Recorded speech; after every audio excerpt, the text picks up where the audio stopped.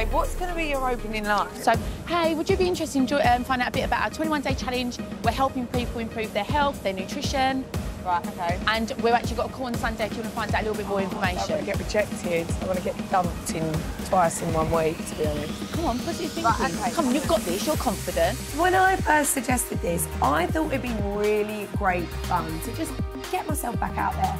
Actually, it's really daunting going up to random people. Hi, ladies. Have you got two minutes to... Okay, so what I think you went wrong there, I think you went wrong because you sounded like you were about to sell them, like, I don't know, Sky or some kind of electric or something.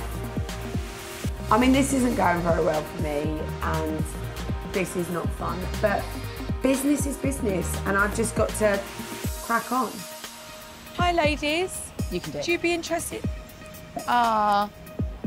oh, he looks smiley. Hi, excuse me. He's got a COVID test. Oh, you got COVID Ah. test? That sounds like an excuse. I don't think he's interested, girls.